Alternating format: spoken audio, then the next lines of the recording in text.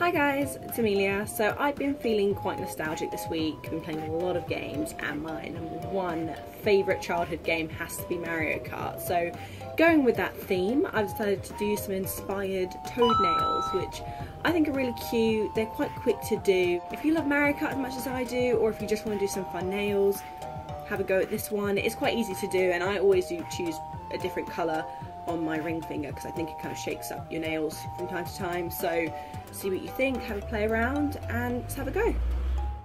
So the nail polishes that I used for this video were the Models Own Art Pen in black, which I've used before, the Gelly Hi Shine Nails Barry M in watermelon, the Avon Real Red brand, and another Models Own in white. As you can see, I'm a fan of Models Own.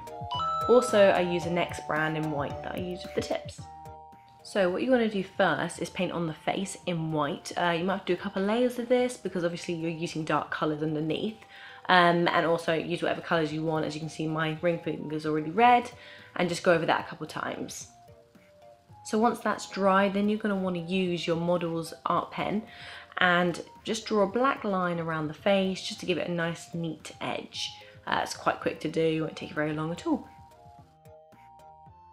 Then once that's dry, what you want to do is get your white pen and just dot on the top where the mushroom head would be. Just do a couple dots, you can do a few big ones if you want, I'm just doing a few small little ones, and then make sure that's completely dry.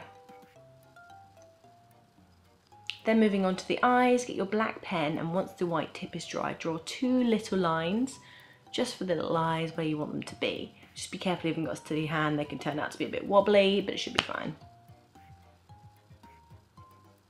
And then you're going to want to grab your white pen and two, two dots in the top of those lines just to give him the eyes like, you know, anime eyes can be, just to give that extra little spark. But that's pretty much it.